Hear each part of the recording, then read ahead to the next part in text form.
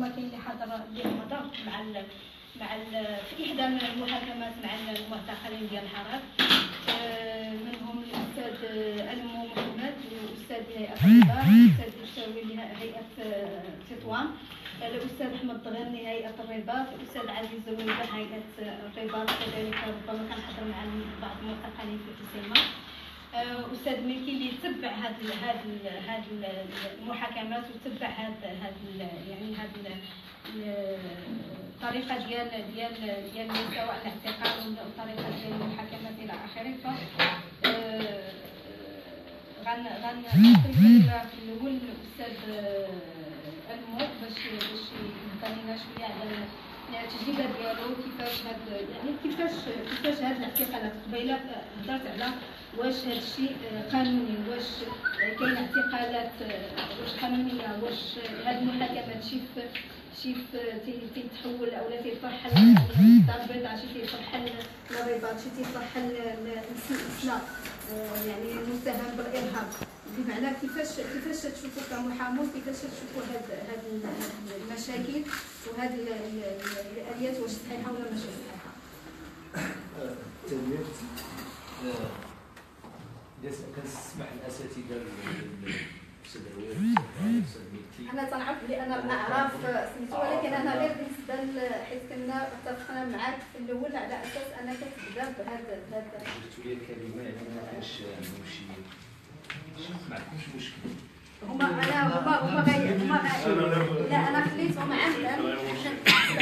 لا أنا خليتهم عمدا. سواء الاستاذ الاستاذ عزيز رويباح والاستاذ الميكي والاستاذ أحمد الغرني والاستاذ الحيان لا بالضبط الاستاذ الاستاذ عزيز رويباح والاستاذ الميكي على أساس أنهم هما نعطيهم كلمة في الآخر باش يعني يعطيونا يعطيونا الصورة الحقيقية لهذا الشيء كامل كيفاش خصو يكون هذا هذا الدفاع هذا ولا حتى المحاكمه إذا ما غاديش نحاولوا يعني ما عنديش مداخلة جاهزه وما غاديش نحاول أنني نطرق بعض المعطيات المتعلقة بالملك واللي هي مشموله بالسريه وأعتقد هذا الأمر هذا طرح فيه نقاش يعني كثير آه، خصوصا على مستوى مواقع التواصل الاجتماعي. آه، واش هل يحق للمحامي أن أن يصرح أو ينشر ما ما ما يعني ما دار بينه وبين موكله وربما حتى أنا يعني شخصيا وقع لي الإشكال هذا.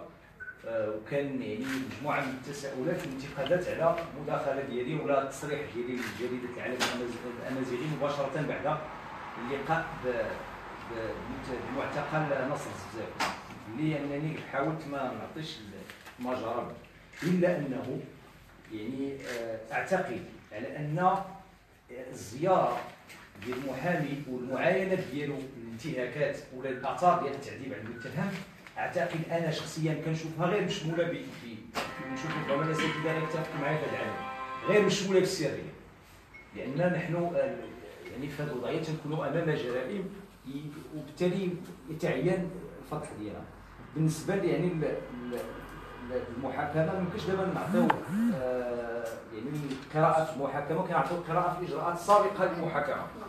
لأن شروط المحاكمة العادلة كتحقق في المراحل السابقه للمحاكمة. مراحل مرحلة الإيقاف مرحلة ديال البحث مرحلة ديال الاستماع للمشتبه فيه إلى غاية تقديم العدالة. ملي كيتقدموا العدالة راه أعتقد أنها غتوفر لهم الضمانات.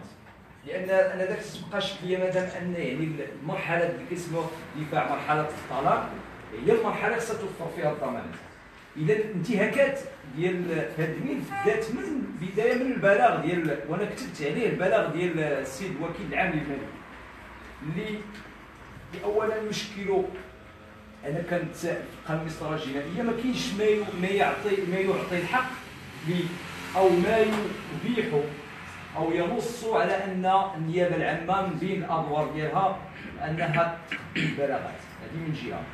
من جهة ثانية آه، البلاغ ديال السيد الوكيل العام الملك بمحكمة ديال ديال ديال الحسيمه السيد الحسيمه فيه يعني حق كبير لقرينة البراءه لأن كانوا وجه تهم في البلاغ ربما رجعتوا للبلاغ وتهم بشكل تأكيدي. أنه ثابت ثابت راه بلغ رجعت إلى في هذا المصطلح ديال ثابت تلك به الجرائم بالتالي هذا نص قانون البراءه كاين واحد الإشكال حاليا في المحاكمة راه كاين واحد آه، الازدواجيه في في هذه القضية ديال المعتقلين كاين ازدواجيه ديال التعاطي مع ما بين ما بين يعني الحكومة ولا التعاطي السياسي والتعاطي القضائي ولا القانوني. إلى رجعنا للتصريحات ديال الأغلبية في البداية كانوا أنه واحد خرجوا تصريحات ديال تخوين آه، تخوين آه، النشطاء ديال الحرب ومن بعد تراجعوا التصريح ولحد الآن لا يصرون على أن هؤلاء يعني يقودون احتجاجات سلمية ويطالبون بمطالب اجتماعية واقتصادية وثقافيه هذا هو دابا الموقف اللي رصاو عليه. ولكن إلا رجعتوا للتهم الموجهة التهم الموجهة ماشي التهم حنا ما توجهش التهم كاين الموضوع ديال ديال التحقيق راه تدخل في التخوين وتيعكسوا تيعكسوا تيعكسوا الموقف الأول ديال الأغلبية وتيحدوا لنا الإطار أو المنحى الذي ستسير فيه المحاكمة لمحاكمة ديال التخوين ومحاكمة ديال يعني آه، إطار يعني توجيه التهم ديال التخوين رجعوا للقانون الجنائي دوك الفصول اللي اللي كانوا توضعوا في واحد السياق تاريخي معين توضعوا في ثروات الرصاص ورجعوا دابا حياهم للنصوص قليل وقيل تنظن الاستاذ كيما قليل فين تحكموا الناس بهذا التهم ديال زعزعة الأمن الدولة زعزعة الولاء ديال المواطنين للدوله آه، المس بالوحدة الترابية التآمر آه، تلقي أموال أجنبية لقصد زعزعة المس بالامن الداخلي. اذا ومبالغ مالية 2700 درهم 700 درهم شي واحد جاتو شي مبلغ ديال شي صديق ديالو من هولندا. واعتبروه حتى هو مبالغ مالية ديال ديال الزوج إذا التهم حاليا هذه ملاحظة ربما العديد يعني كما ما انتبهش لها أعتقد على أن محاولة التملص أو التراجع على آه على على المواقف التخوينية والمواقف ديال اتهام نشطاء الحراك بالانفصال هذه المواقف هذا التراجع هذا تعكس ما كاينش تراجع كتعكسوا المتابعات المتابعات والملفات المتابع من أجلها النشطاء اللي هي كلها تهم تخوينية. التهم هاد التهم اللي ذكرت ديال المس بالأمن ديال الدولة زعزعة الولاء ديال المواطنين تلقي أموال مس الوحده الترابية إلى آخره. هذو تهم تخوينية. بالتالي الموقف التخويني لا زال قائما وأن التعاطي التعاطي حاليا المسار الاخدامي حاليا مع المعتقلين أعتقد أنه هو يعني تهم آه، تخوينيه بالنسبة لواحد المساله أساسية يتعين احترامها وهي من بين الشروط ديال المحاكمة العادله وهي اللي كتميز المحاكمة السياسية على المحاكمة القانونية هي الكرامة. الكرامة. ما غنهضرش أنا على الاختلالات الأخرى اللي كاينة في الملف هادو اختلالات أي واحد ممكن يرصدها ماشي من داخل الملف اختلالات خارجية متتبع خارجي. طريقة الإيقاف ديال المتهمين المواكبة الإعلامية والتشويه ديال المعتقلين آه، يعني التصريحات السياسية والتهم نوع التهم الموجهه لهم وكذلك أجواء تقديمهم للمحاكمة كيتحاكموا مع 12 ديال الليل النهار ما سالينا حتى حتى الجوج كازا وتيتقدموا مع العشية قبل المغرب. اذا هادو هذه الطريقة تعطي أعتقد أن الكرامة إنني رجعت للمواثيق ما بغيتش نهضر على داكشي مواثيق رجعت للمواثيق الدوليه لحقوق الإنسان اللي كتوضع مجموعة من المبادئ ديال والمعايير الدولية للمحاكمة العادلة فيها الكرامة. يعني الكرامة ديال ديال الأديب بما فيها طريقة الإيقاف ديالو ما خصوش يتم الاعتداء عليه ما يتمش التعذيب تعذيبه ما يتمش أيضا يتعين له أن يبلغ أو يعرف الجهة التي توقفه ماشي يجيو ليه الناس ولا في الواقع كاين ناس بزي مدني وما علموش الموقوف التهمه الموجهه ولا علاش غيوقفوه؟ طريقة المداهمة وتفتيش المنازل خارج الإطار القانوني وكاين متهم اللي سربت وثائق سربت يعني حوائجه الشخصية يوسف بي فيها صور شخصية ديالو اللي ما عمرو نشرها وكاين باقي يعني راه يعني حسب يعني التواصل معاه راه باقي بعض الصور وبعض الأوضاع ديالو الحياة الشخصية ديالو باقا يعني آه ك يعني آه عندهم كراهنه آه يعني عند عند هذه الجهات يعني ما عمرها تنشرت وممكن تنشر ما دام الصور اللي تنشرت. أيضا ديال المسألة ديال والمسألة الخطيرة ديال الخرق. واخا أنها حاولت تغلف بغلاف قانوني وتعطى له تخريجه قانونيه هي تحويل الملف من الحسيمه ل ل البيضاء هذا حتى هو تيمس بكرامه ديال ديال ديال المتهم لأن غيتحكم في ظروف أقل ما يمكن على أن ظروف مزرية غادي تعذب العائلة ديالو. غيتعذب هو وما غادي دابا تلقوا أو ما خصهم يضطروا أنهم يباتوا في الرباط وغدا عاد يمشيو لعائلتهم هما حضروا في المحكمة. وغيحضروا الاخرين المعتقلين لعائلتهم ما غيقدروش يجيو يحضروا معاهم. أيضا حتى الزيارة ديالهم في السجن راه صعيبه لعائلتهم باش يجيو يزوروهم في السجن والتحويل اعتمدوا على مقتضيات الماده 270 و 271 و 272 فعلا كتعطي الإمكانية وحتى هذه كتعطينا واحد كتعكس لنا واحد نوع من يعني طريقة التعاطي مع هذا هذا الملف ديال ديال ديال نشطاء الحراك. هي اعتماد على هذه المواد هذو تفعيل هذه المواد هذو باش ينقلوا الملف من الحسيمه يهربوه للدار البيضاء 270 72 71 كتعطي إمكانية للنيابة العامة آه، آه، إمكانية إحالة الملف لمحكمه أخرى بطلب من الوكيل العام مثلا محكمه المدينة المعنية محكمة السنة الحسيمه أو الوكيل العام آه، لمحكمة محكمة النقد. وفي هذه الوكيل العام لمحكمة النقد وأنا طلعت على القرار ديال ديال الغرفه الجنائيه بمحكمة النقد. النص كيهضر على الحالة ديال يعني تكون من شأن المحاكمة أنها تمس بالأمن العمومي. تمس بالأمن العمومي ويتم الإحالة بما لا مع احترام حقوق الدفاع. اذا هذه الإحالة في حد ذاتها تتناقض تهريب الملف من الحسيمة. الكازا تتناقض مع تصريحات بأن محاولة تسويق الحراك على أنه سلمي. هذه احتجاجات سلمية مطالب اجتماعية. هذه عادية. إذا كتقول عادية إذا كتقول راه حالة الحرب. هذه النصوص توضعوا أشنو هو السلم؟ تهديد السلم. المحاكمة غتهدد السلم والأمن العمومي. هي المحاكمة أشخاص في حالة حرب أو أشخاص يحملون السلاح ضد الدولة أو أشخاص يعني أو عصابات يعني تهدد الأمن ديال الدولة. وبالتالي محاولة الخوف من اقتحام المحكمة وتهريب المعتقل هذه علاش توضعوا هذه النصوص هذو ما يمكنش انت شخص الناس كتقول احتجاجات سلميه وفي نفس الوقت كتستند على آه، مقتضيات الفصل 271 اللي كتعطيك كتهرب الملف من أجل باش ما تهددش السلم بالتالي يعني ضمنيا كتقول ان هذا كيهدد السلم هذا سؤال هذا سؤال ديال أنه أغلب السياسيين أغلب يعني اللي تعطيو تصريحات المواقع موقع التواصل الاجتماعي ولا المنابر الإعلامية. تيقول لك أنه حراك سلمي آه، من أجل من أجل ما مطالب مشروعة إلى آخره. فاستاذ بوشوي أين تكمن إذا الجريمة؟ فين فين هذه الجريمة هذه؟ يعني على أساسها يعني تعتقلوا الناس وتختطفوا وتتحكموا آه، الآن. آه، اولا آه، أشكركم على هذه المبادرة الطيبة كما نشكر الحضور الكريم. وبالمناسبة بالمناسبة طبعا نندد بهذه الاعتقالات الاعتقالات ديال النشطاء الحراك الشعبي بالريف وكذلك المتضامنين من مختلف المدن المغربية. وبالمناسبة كذلك نندد باعتقال الأخ المناضل آه، سدراوي طبعا دريس سدراوي الذي آه، باعتقاله فقدنا آه، مناصرا مناصرا وداعما كبيرا للحراك الشعبي في الريف ولمطالبه المشروعه آه، حقيقة هو أنه كل متتبع للحراك الشعبي في الريف يتساءل يتساءل يعني أين تكمن الجريمة؟ ما هي الجريمة؟ أين تكمن هذه الجريمة التي ارتكب النشطاء الحراك الشعبي بالريف؟ هل الأمر يستدعي هذا التجييش التجييش للقوات القوات العمومية لمختلف من مختلف المدن المغربية لدرجة أن حتى المحاضر تكشف حقيقة استقدام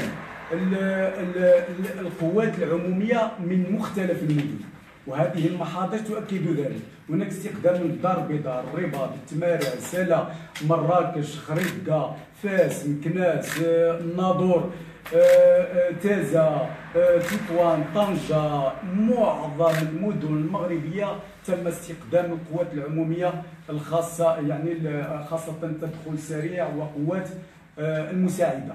وتم تكديس مدينة الحسيمة يعني أي زائر لمدينة الحسيمة سيرى وكأنها مدينة تعيش آه، آه، حالة حالة طوارئ حالة غير عادية محاصرة خيم خيم لقوات التدخل السريع لقوات مكافحة الشغب للجيش. لأول مرة نرى الخيام ديال الجيش في الشوارع. هناك أكثر من أربعة ديال المخيمات موزعة على مدينة الحسيمة والإقليم. أحصيت في مخيم واحد ما يزيد عن 80 خيمة من الحجم الكبير. هناك الخيام التي هي واضحة باللون الأخضر هناك الخيام آه، باللون البني هناك الخيام باللون الأصفر وكذلك هناك خيام أخرى. بالإضافة إلى تكديسها في بعض المؤسسات العمومية وفي الثكنات لدرجة أن مدينة الحسيمة أصبحت وكأنها ثكنة ثكنة للقوى العمومية وثكنة للجيش ثكنة كبيرة. بحيث أن هذا هذا الحصار يبدو أكثر ويتجلى أكثر بالليل. فمباشرة بعد صلاة المغرب تجد تجد أن الشوارع محاصرة انزال القوات العمومية وهي في حالة استنفار مزودة بالخوذات وأدوات القمع. ويتم التاكد من الهوية وكأننا نحن نعيش مدينة مدينة الحسيمة أو إقليم الحسيمة وكأنه مدينة من كوكب آخر أو كأنها مثلا مدينة ليست بمدينة آه، مغربية. حقيقة نتساءل يعني ما جدوى كل هذا هذا هذا هذا الحصار؟ طبعا يعني للاجابه على هذا السؤال هو الإجابة على هذا السؤال تحتاج إلى نوع من التدقيق والرجوع نوعا ما إلى الوراء بحيث نعلم جميعا نعلم جميعا بأن الحراك الشعبي في الريف هو انبثق من آه، من من المعاناة من من المأساة من من الوضعية من وضعية الفساد ووضعيه التي تتسم بالمخالفة للقانون. لإقليم الحسيمه ولمنطقه الريف وكذلك حتى المناطق المغربية الأخرى. على اعتبار أن الريف لا يعتبر استثناء. نحن نعلم جميعا بأن نفس الوضعية التي تعيشها منطقة الريف تعيشها باقي المناطق المغربية. إلا أن وفاة مقتل محسن فكري وعملية البحث التي بحث ان المسؤولين وعدونا بأن البحث سيأخذ أقصى مدى في حين أنه تم الاقتصار على أقل ودائرة مغلقة ضيقة جدا جدا بحيث لم يتم آه، آه، يعني الوصول بالبحث إلى أبعد من مدى والوصول إلى المسؤولين على مستوى الإدارة المركزية والوصيه يعني المسؤولين الذين لديهم يعني آه، علاقة مباشرة أو غير مباشرة بما حدث به طبعا الحيز الزمني لا لا, لا يسعفنا في التطرق لجميع الخلفيات الحراك وكذا. نحن نعلم جميعا بأن هذا الحراك العفوي آه، آه، انطلق من الشارع بشكل عفوي وكانت لديه مطالب محدودة جدا. 21 مطلب. لا تسعف لا في وصفه لا بالانفصال ولا بخدمة أجندة خارجية ولا بخدمة ولا بتهديد التراب الوطني. بالعكس أن هذا الناس يعني هذا الحراك الشعبي الذي التف حوله جميع المواطنين فيهم من مختلف الأعمار النساء والأطفال والشيوخ والمثقفين الأساتذة وبما فيهم كذلك حتى بعض الزملاء المحامون والمثقفون والتجار والطلبة جميع وحاضنة شعبية لأن طبعا كان ضرورة ضرورة التمرد على الوضعية التي أنتجت الشهيد محسن فكري حتى لا يكون هناك مجموعة من الضحايا الآخرين خاصة أن الطريقة التي توفي بها محسن فكري خلقت نوع من ردة فعل كبيرة لدى المواطنين وكان سواء على مستوى منطقة الريف أو على المستوى الوطن ككل المغرب ككل. بحيث رأينا مجموعة من الاحتجاجات على امتداد التراب الوطني. مباشرة الحراك الشعبي خمس شهور خمس شهور وقد تشرفت بالحضور في بعض الوقفات بعض المسيرات الاحتجاجية. خمسة أشهر لم يسجل ولو خدش واحد. لم تشتكي كان يشارك فيها النساء والأطفال والشيوخ وجميع مختلف الأعمار. لم يشو لدرجة أنها وصلت في الذكرى الأربعين حوالي 200 ألف مشارك. ولم يسجل ولو خدش واحد ولم تكسر ولو زجاجة واحدة ولم يع... ولم تقدم أي شكاية. خمسة طيلة خمسة أشهر. بعد ذلك جاءت المقاربة القمعية. عندما تدخلت المقاربة القمعية بدأنا نسمع نسمع عن أن هناك وفلاتات وأنه استعمال العمليات ديال التخريب إلى غير ذلك. هذه هذه العملية ديال القمع ربما قد تعطي بعض الفلاتات لأن الإنسان يطالب بحقوقه المشروعة والدولة تواجهه بالقمع. اذا شيء طبيعي أن يكون هناك رد الفعل لأن فيه نوع من فيها نوع من الإهانة. أن عندما أطالب وأحتج وأفعل حقي في الاحتجاج السلمي والدولة تواجهني بالقمع. سوف لن أستسلم. سأقاوم بالأساليب السلمية. ولكن كإنسان يمكن أن تكون هناك بعض ردة الفعل الطبيعية. هذه وبالتالي نحمل المسؤولية لما حدث بعد تفعيل المقاربة القمعية للحكومة وللمسؤولين الأمنيين. إذا رأينا بأن الحكومة بدأت تتخبط تجاه الريف فهذا التخبط كتتويج لهذا التخبط جاء ما يسمى بالتصريح ديال الحكومة ديال الأحزاب الأغلبية المكونة للحكومة. فاتهمت الحراك بالانفصال والعمل لأجندة خارجية وبتهديد الوحدة الترابية. طبعا عجزت عن إثبات ذلك. فأرسلت وفد وزاري بشكل يتناقض مع التصريحات أنت تتهم حكومة والأحزاب المكونة الأغلبية الحكومة تتهم الحراك بالانفصال بعد ذلك تبادر بإرسال وفد وزاري متكون من سبعة وزراء هاد سبعة الوزراء ماذا فعلوا؟ بدل من ملامسة الجراح والاستجابة والفتح الحوار مع المحتجين عقدت اجتماعات داخل العمالة مع من؟ مع المنتخبين ومع أعوان السلطة الذين لا علاقة لهم في الحراك. المنتخبين والأحزاب السياسية غير ممثلة في الحراك. وكذلك أعوان السلطة غير ممثلين في الحراك. وبالتالي مهمة الوفد الوزاري كان محكوم عليها بالفشل منذ البداية. إذا بعد الفشل الحكومة لكي تحافظ على ماء الوجه ولكي تثبت عدم يعني صحة ما مزاعمها بالانفصال والعمل للخارج لجأت إلى تطبيق ما يسمى بالمقاربة القمعية والاعتقالات والقمع المتظاهرين في الشارع والاعتقالات. هنا جاءت هنا نتساءل عن التهمة. التهمة التهمة آه، أنا آه، صراحة آه، أقول أقول وأقولها دائما كمتتبع وكطبعا ويشرفني أن أن أشارك في الحراك. حراك شعبي سلمي حضاري ويعطي صورة يعتبر بمثابة مدرسة في النضال السلمي الحضاري. والآن ما يحدث؟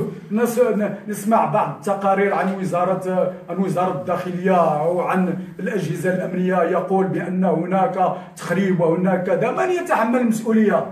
تتحدثون عن التخريب. وهناك صور الفيديو منشورة على وسائل التواصل الاجتماعي والحمد لله ونحن نعيش في القرن 21 هناك ما يسمى بالإعلام البديل. هناك تتبع الأحداث على المستوى المباشر بحيث لم نعد حتى الإعلام الرسمي فاشلة بعد فشله في تسويق ذلك الصورة النمطية والصورة التي يريد أن يخلقها على الحراك. بعد فشله وتكسير. هذه هذه الصورة النمطية من طرف الإعلام البديل مشكورا اضطرت إلى بدأت الآن تحاول ما أمكن التقرب من الحقيقة. وإن كانت طبعا نظام المراقبة والرقابة وقص المراقبة يمنع يمنعها من الوصول إلى الحقيقة.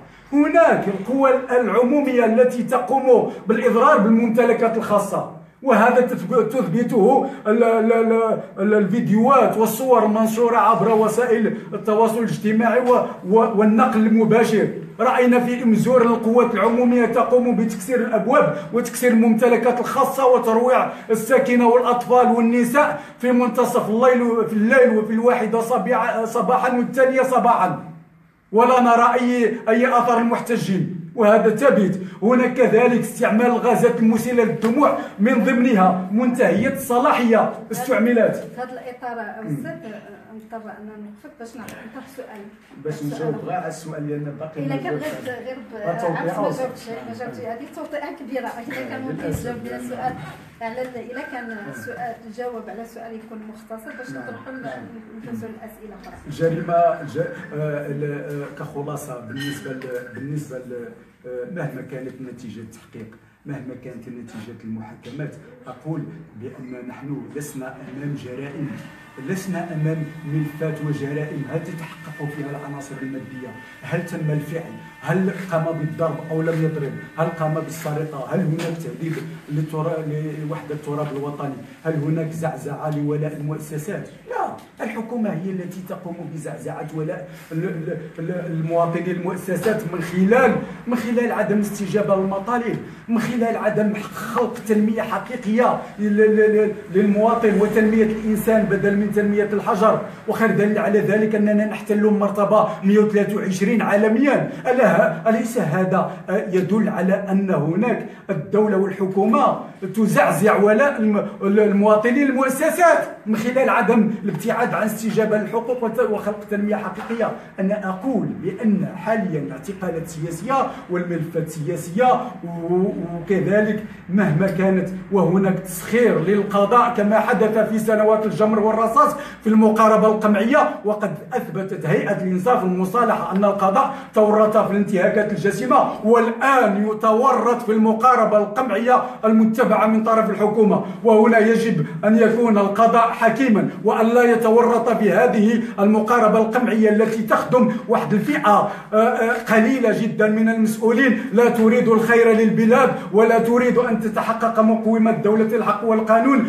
وتريد وتستفيد من اقتصاد الريع ومن امتيازات ما يسمى بخدام الدولة وتريد بقاء المغرب كما هو على حالته في وضعية النهب وفي وضعية ال- اقتصاد الريع ولا ولا تريد أن تتحقق دولة مقومات دولة الحق والقانون. وبالتالي تسعى بجميع الوسائل عن طريق القمع وفبركة الملفات والاعتقادات السياسية لقطع الطريق أمام كل آه، آه، آه، حركة احتجاجيه سلميه تهدف إلى تحقيق مقومات دولة الحق والقانون والدفاع عن حقوق المواطنين وتحقيق تنمية حقيقية. شكرا. وشكرا. شكرا أستاذ.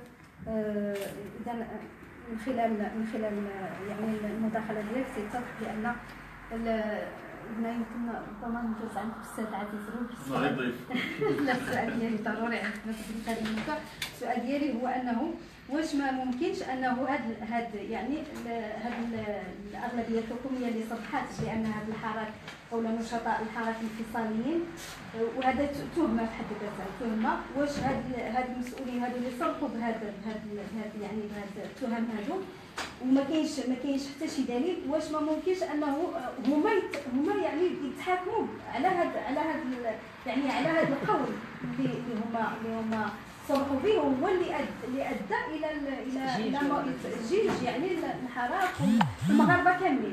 واش هذه ماشي يعني واحد واحد آه، واحد وسيلة اللي ممكن أنه يعني يتهمون بها أنهم تي- تيخلقوا واحد الدباله وتيخلقوا آه، يعني هذا واحد يعني كنقول لك تهم تيتهموا ناس آه، باطلا وين مساء الخير.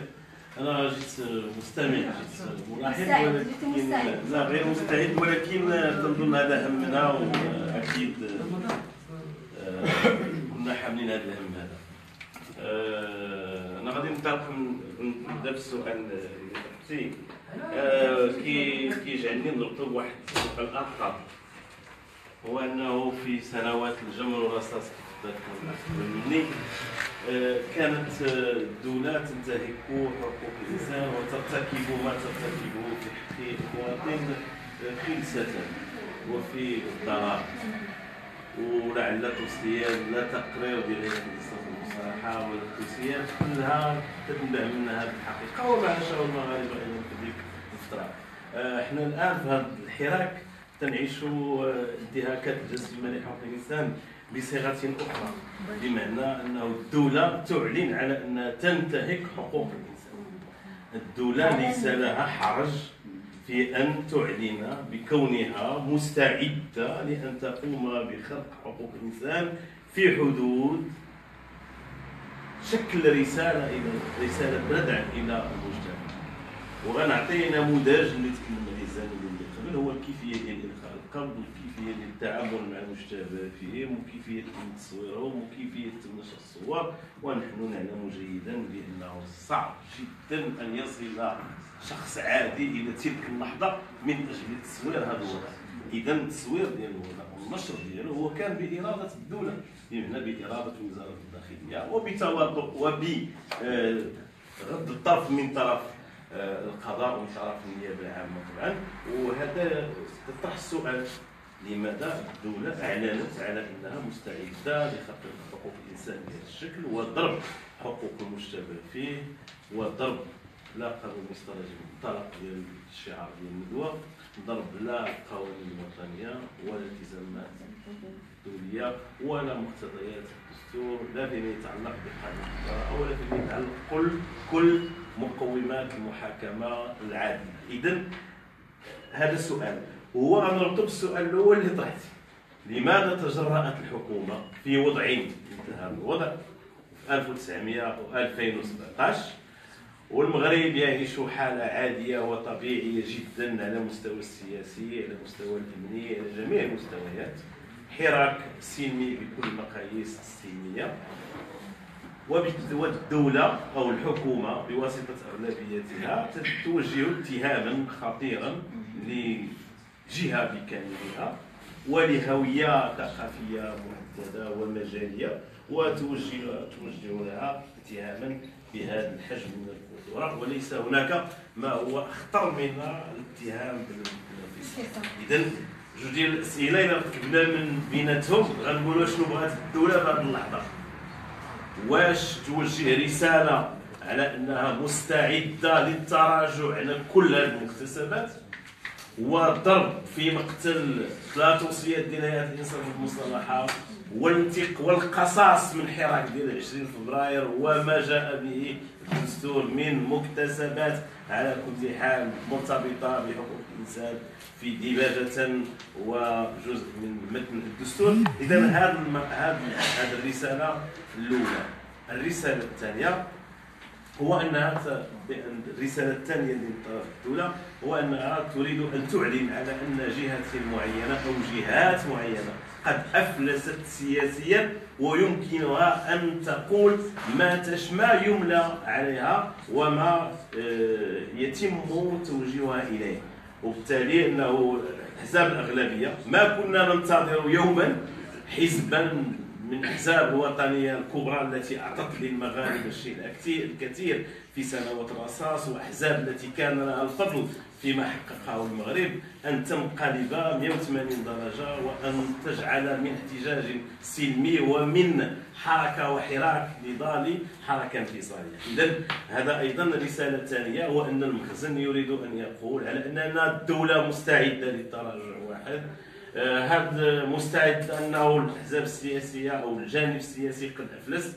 وبالتالي شنو هو البديل وشنو هو الممكن فعله في المستقبل؟ وهذا ربما غادي غادي نلقاو أجوبة. في القريب العاجل سنتلقى آه، أجوبة على هذه الأسئلة بصيغة أخرى. إذا بالنسبة لل- الأساسي أعتقد اللي خصو آه، يتطرح هو الجانبين فيه كاين الشق السياسي والشق الحقوقي القانوني. وأعتقد بأنكم كنتم موفقين في اختيار آه، مضمون عنوان الندوة.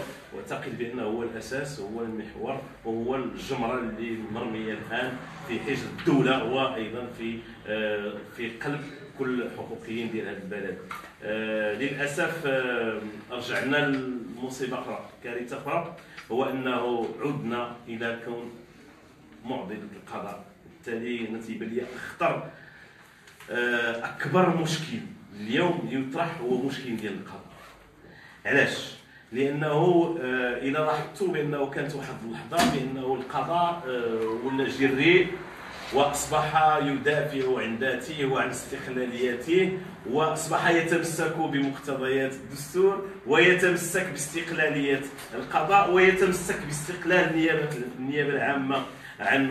عن وزارة العدل القضاء بنفسه كسلطة تنازل عن كونه سلطة وانضم إلى خدام الدولة موضوعيا في خدمة صالح الدولة. هذا الجانب الأول.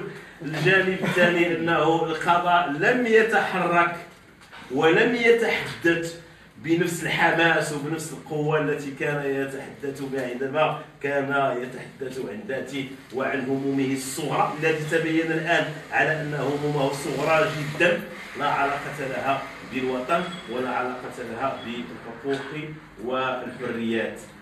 الجانب الثاني هو أنه آه، ربما إذا كان شي درس ممكن ناخذه إذا كان ممكن ناخذ شي درس من هذا الحراك. اولا هذا الحراك أنه أخرج المغرب من سباته وكشف لنا الحقيقة عارية وبدون مكياج. من الآن الحقيقة المغرب كشفها لنا الحراك. اذا كأنه كأن المغرب يستغيث من خلال هذا الحراك. على أنه ماذا يجب فعله لكي لي حتى لا يتكرر ما سبق ان وقع في المغرب في سنوات الجمهورية والرصاص. واعتبر بأنه راه لحظه الإشارات ما حدث اليوم راه شبيه في جزء منه شبيه بما كان يحدث مما يقع. أنا غنقول بأنه الوقت اللي شفت الصور ديال ديال ديال المعتقلين ديال الزفزافي وديال اللي معاه أنا أتس... ما ما ما صدقش بأنه هذيك الصورة ممكن تكون حقيقة وفعلا. اعتقدت انها مفبركة وأنا داخلي كنت كنتمنى أنها تكون مفبركة. ولكن للأسف أنها وقعت في المغرب وحدثت في المغرب وحدثت في دستور متقدم. يبدو كان يبدو الآن متقدم ولكن بان الآن بأنه مجرد واجهة دستورانية شكلية. لا قل ولا أكثر. اذا اللي عطانا أيضا هو إنه كاين مجموعة ديال كيف قلت بأنه عطانا أيضا آه، خرجنا من سباتنا وعطى إشارة لمن اطمأن على أن المغرب يسير في مسار التقدم في مجال حقوق الإنسان على أنه الآن للأسف أننا نحن الآن ملزمين باستحضار روح العدالة الانتقالية اللي كنمر منها المغرب.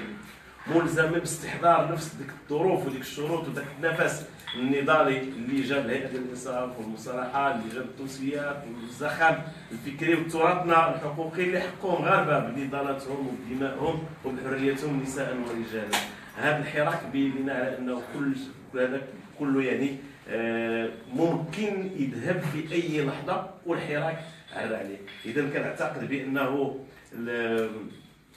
من الخيمة جاي ماي. المحاكمه العادله لا يمكن أن نتحدث عن محاكمة عادلة. أنا حضرت في الحسيمة مثلا وطرحوا مجموعة طرحوا مجموعة ديال القضايا المرتبطة بالتعذيب وكيفاش جاوب عليها القضاء.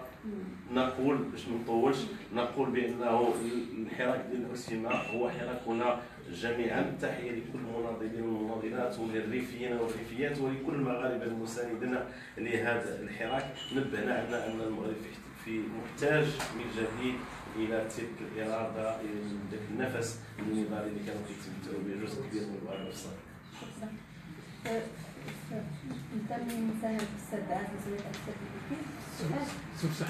السؤال السؤال اللي تيطرح هو أنه هذه المحاكمة شنو هي؟ هذه المعايير ديال المحاكمة العاديه لأن حنا كناس ماشي ماشي ديال التخصص كناس تنتبعوا هذه الأعراض تنتبعوا هذه الاعتقالات تنتبعوا هذه المحاكمات. ما فهمناش ما فهمناش شحال من المساطير ما فهمناش. إذا بغينا نعرفوا هذه المساطير اللي هي اللي هي يعني يعمل بها هذا هذا هذا يعني هذه المحاكمات واش واش يعني داخلة في معايير ديال المحاكمة العادلة؟ أكثر أكثر أنا هذه هذه المحاكمات محاكمات سياسية واعتقالات سياسية إلى آخره. شنو هما هذه المعايير ديال أننا نقولوا هذه محاكمة عادلة ولا شيء ولا ماشي محاكمة عادلة. أستاذ شكرا الشيخ وشكرا للاخوه المنظمين لهذا اللقاء التواصلي. وطبعا مهم جدا لقاء بحال هذه تداول المعلومة أو تداول بعض وجهات النظر. لعلها آه، تساهم في إغناء النقاش حول واحد الموضوع حساس وخطير جدا كيهم المغرب الحديث وسيكون له مبدا طبعا الموضوع في عموميته كما آه، وقع وكما تروج انه الإطار الحدود ديالو في اطار الدستور هو المطالبة بحقوق اقتصادية اجتماعية طبعا وثقافية. المعارك السابقة كنا كنتحدثوا على جيل آخر ديال آه، الحقوق حقوق آه، حرية التعبير حق في الحقوق السياسيه إلى آخره. لكن بعد محاولة تجاوز الموضوع ديال الحقوق والحريات جاء الجيل الجديد ديال الحقوق الحقوق ديال ما بعد هذه الألفية اللي كنعيشوا فيها وهي الحقوق الاقتصادية الحقوق الاجتماعية الحقوق الثقافية الحركة كما ذكروا الإخوان على حسب الشعارات اللي آه، تنظيميا هي حقوق اقتصادية. لكن السؤال وطبعا قبل ما نجاوب على السؤال ديال الأستاذة أمينة فين فين حنا؟ واش خرجنا إلى الجيل الجديد أو الأجيال اللي الناس كيتدخلوا عليها في الأجيال ديال حقوق الإنسان؟ اللي هي الحقوق الاقتصادية والثقافية والحقوق البيئية واش خرجنا من الجيل القديم باش ندخلوا للجيل أو واش كنا مهيئين. أظن أن هذا الموضوع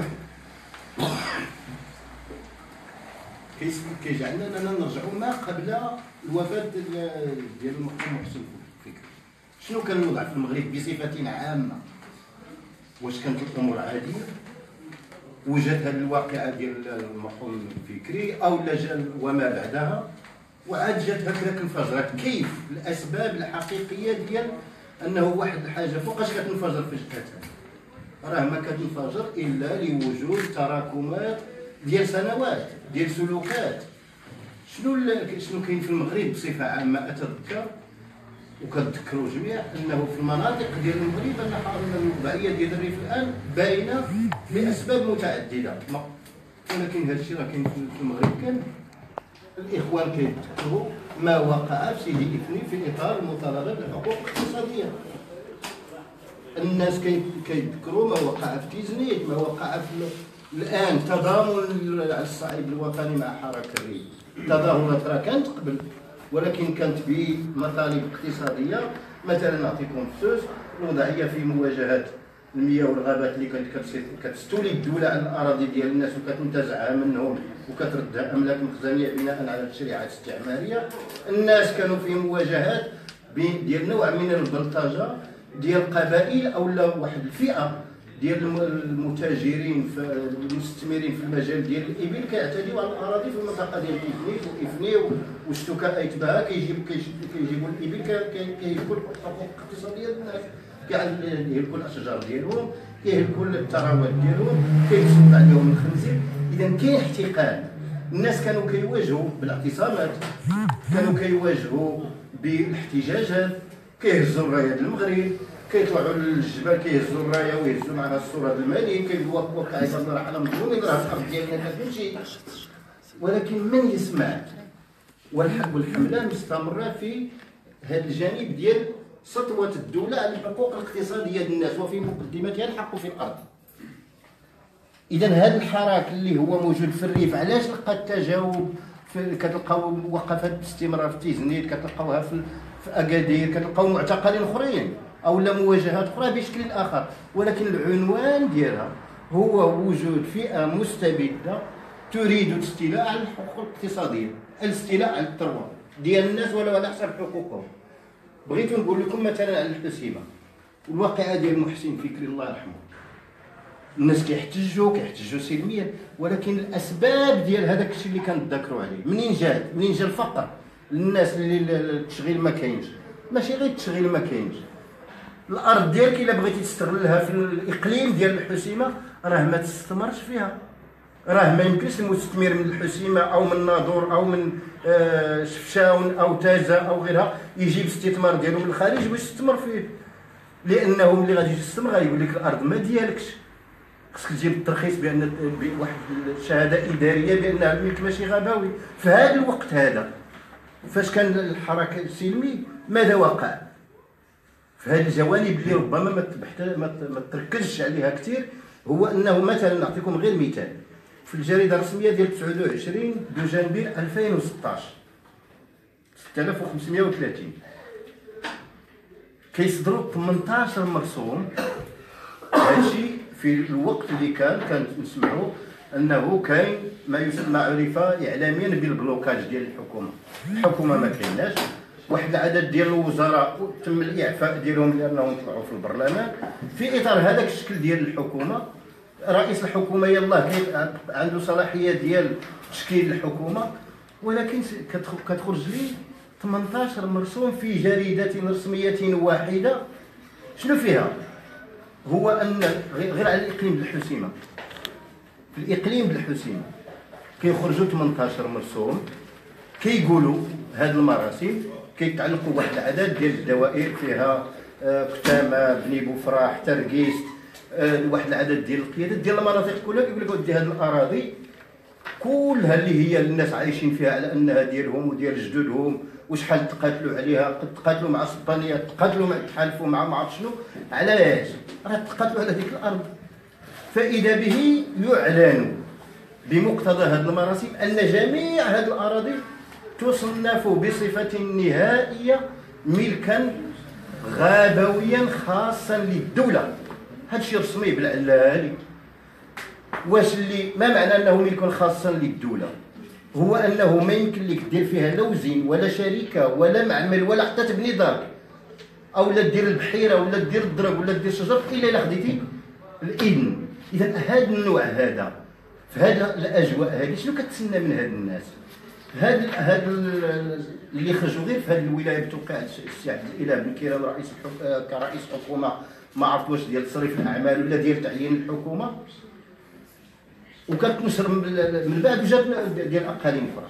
كتضاف واحد المجموعة ديال المراسم أخرى اللي هي كتصبح عندنا المجموعة ديال الاقليم الحسيمة 32 مرصوص فيه 55 ألف هكتار تصنف على انها ملك الدولة.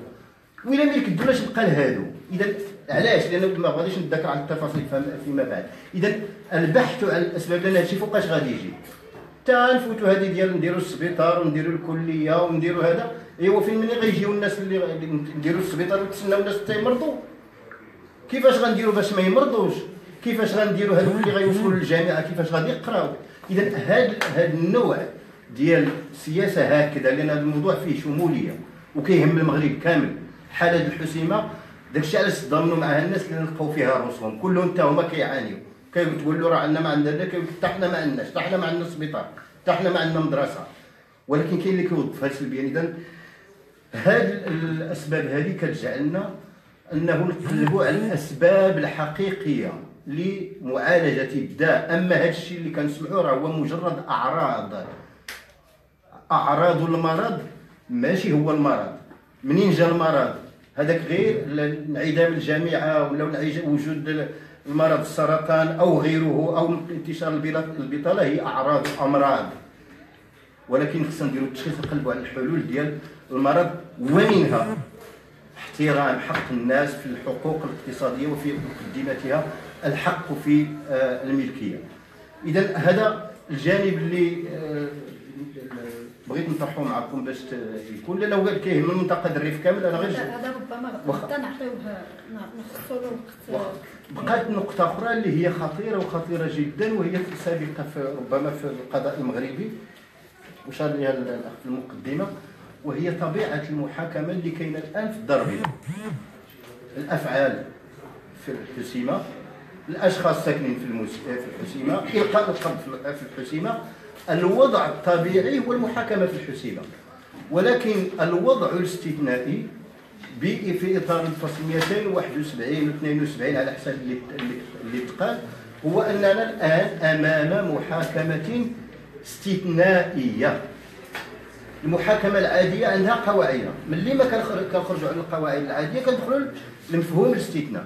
إذا المحاكمة الاستثنائية اللي تبنات الآن وهنا كيظهر الدفاع اللي يتحمل مسؤوليته هو أنه تم اختيار الدار البيضاء ك- ك- كمحكمة استثنائية.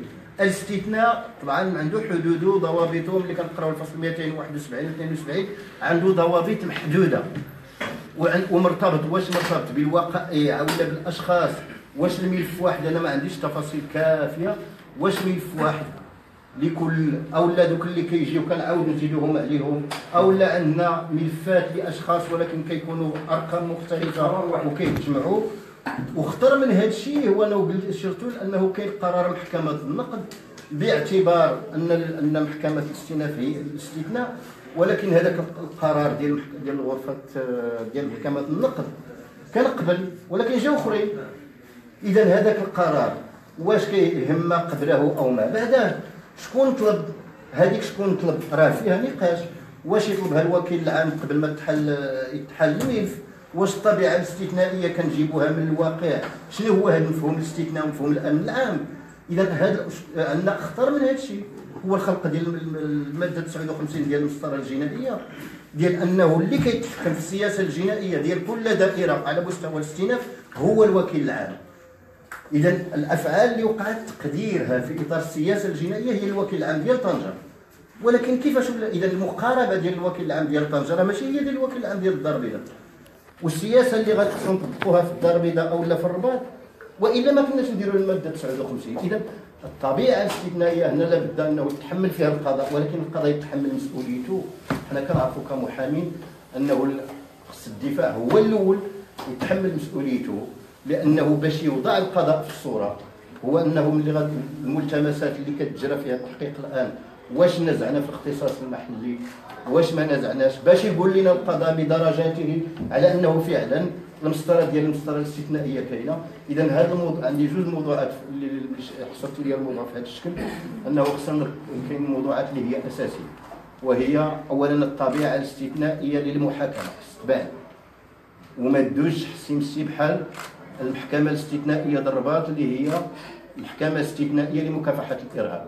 جميع قضايا الإرهاب المحكمه الاستثنائية وحدة اللي عندنا في المغرب وهي ديال الرباط. هي اللي كتحكم قضايا الإرهاب. الآن اذا فتحنا هذا المجال ديال المحكمة الاستثنائية كنضربوا في الصميم ضوابط المحاكمة العادلة اللي ما مرتبطاش بالشخص بوحده مرتبطة بالشخص ومرتبطة بالعائلة ديالو. وبوليداته وبخوته وطبعا بالمحيط ديالو. اذا ضمانات المحاكمة العادلة كذا هي المعركة الكبيرة اللي خص ال- الدفاع يقودها بمهنية. لأنه الآن الطبيعه الاستثنائيه خصنا نقرا واش كان طعون في عند في مجال الاختصاص وشنو قالت الاستئناف شنو قالت محكمه النقد ونراكموا لما بعده. ولكن آه، الطبيعه الاستثنائيه كيظهر لي خصها في معركة قانونية.